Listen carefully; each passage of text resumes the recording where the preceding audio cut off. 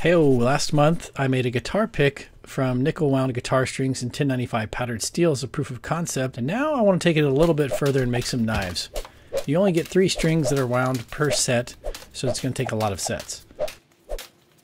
Now this is a canister Damascus project, and these are the type of tubes I have on hand. I'm sure we can make one of these work.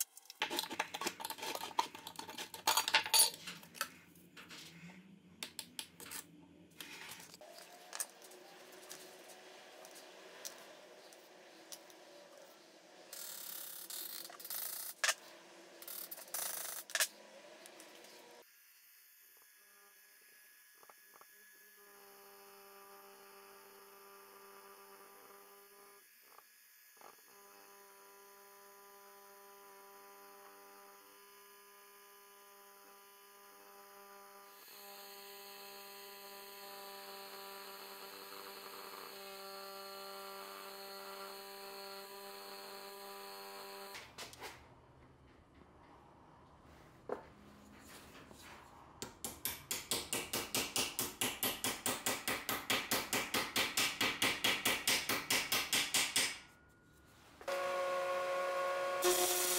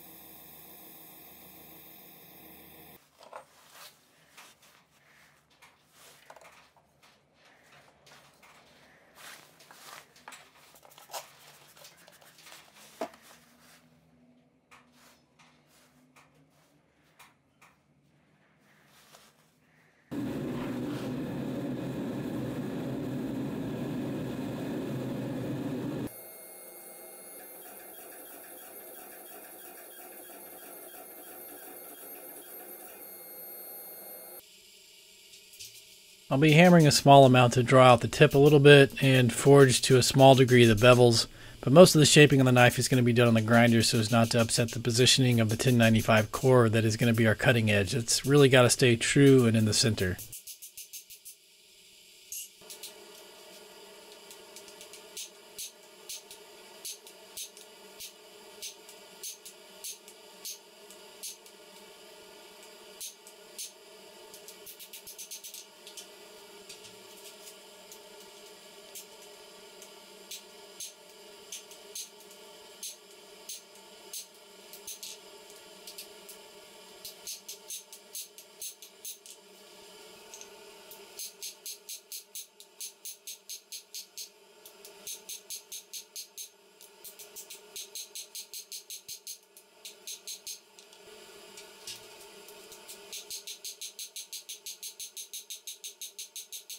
Bending and manipulating the billet causes the weak points around the nickel and the strings to sort of open up. So there's some cracks that form on the surface here. I'm going to apply some flux to those and try to weld them back into shape by sort of smashing them flush. It's not going to work, but in the end we'll be able to take care of these with some careful grinding.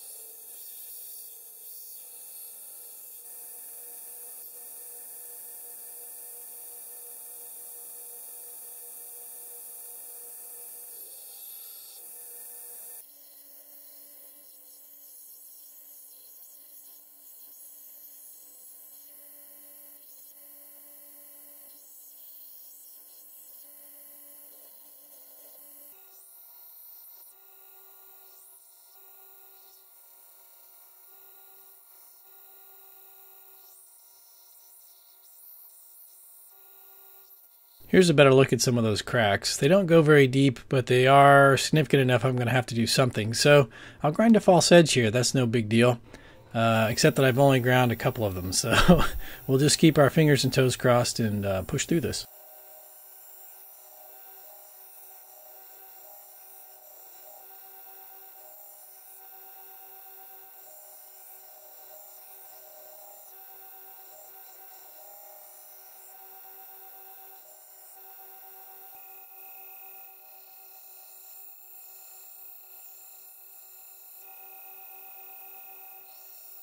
Alright, so after squaring the shoulders and doing some thermal cycling, everything still looks pretty good. It's straight, so we're going to move on to the quench. Notice that my grinding, even rough grinding, happens mostly after the quench and two 400 degree tempering cycles. The nickel grinds very easily even after it's hardened.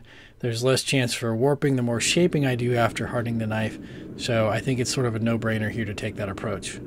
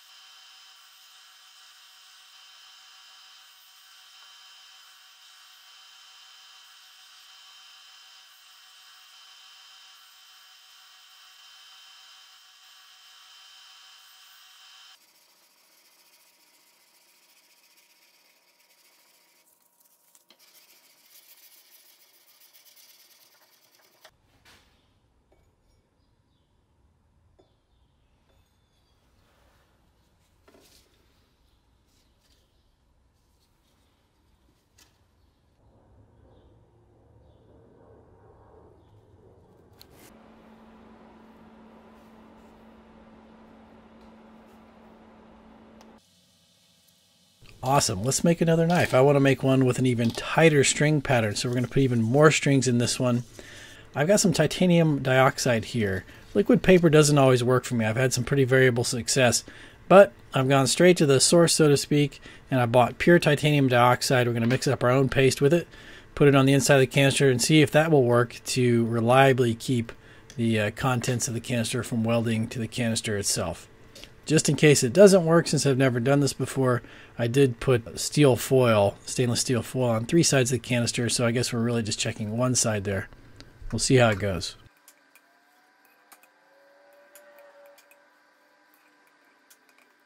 This canister is one square inch. The last one was one and a quarter. There's about twice as many strings per area here. I'm pretty psyched.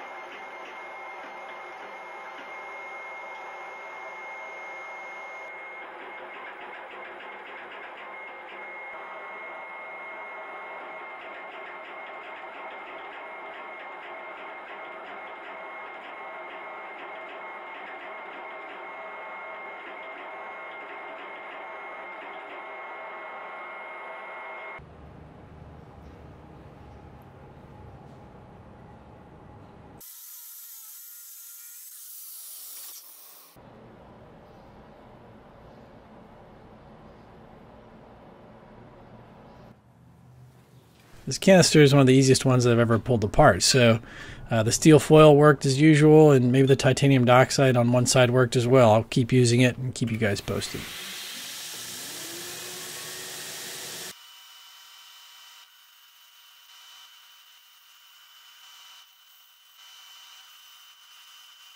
All right, so where are we? Have, we have a billet with 90 plus guitar strings in it, right? And um, I, there's no cutting surface. The nickel from the guitar strings is just not going to make a cutting surface at all. It's not really hardenable. So what I like to do is forge weld a piece of 1095 on the top and then a thin piece on the bottom. So this will be the spine, this will be the edge. And I'm doing that because this piece is going to bard everything together, right? Because if uh, as you see, cracks form when you bend this piece of uh, guitar string billet and try to form it and shape it. Little cracks form along the edges, and uh, that has to do with the nickel and the guitar string and the, the canister Damascus process. So, if I barred a good piece of steel to both edges and I'm manipulating it in that plane, um, it'll keep the cracks from forming. So, this is the plan to forge weld this all together. Let's see how it goes.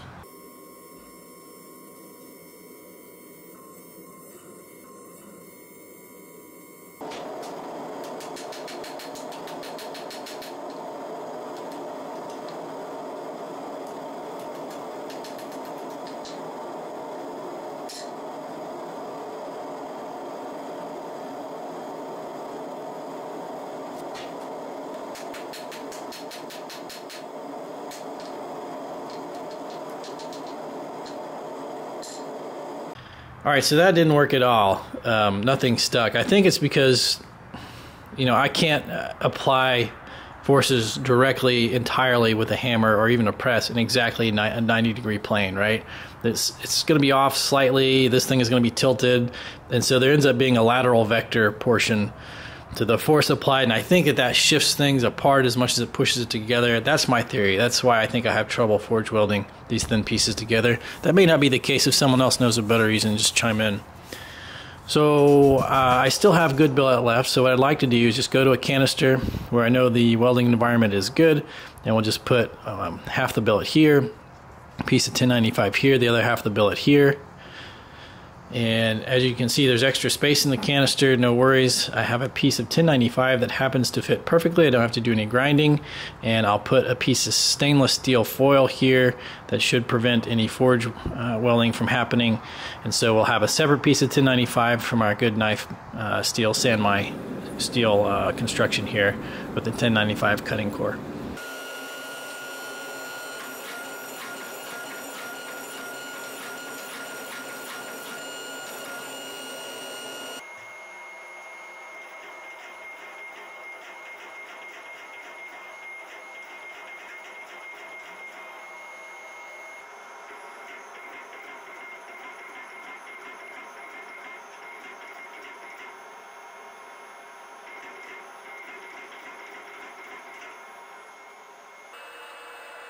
Here I'm putting a downward slant on the handle portion. I anticipate at this point that this is going to make a full tang knife and I want sort of a downward sweeping handle. So that's all I'm doing here. Okay, so interestingly enough, um, that didn't work at all. What happened was um, we got a good weld here with the 1095 and uh, core and the guitar string billet on both sides, nice San Mai. This stainless steel foil welded, so I have an extra piece of thicker 1095 here. And I could try to grind that away or cut that away, but it's, you know, I'm gonna, I'm gonna cut away too much of my guitar string billet if I do that. I think the best thing to do is sort of grind things down a little bit, you know, and then draw out this billet, cut it in half, and then re-weld it to itself with a 1095 in the middle. I'll put a little extra piece of 1095 here to make sure there's a good clean cutting edge, and that's what we're gonna do. Um, if this doesn't work, I'm out of options. There, there won't be any other options.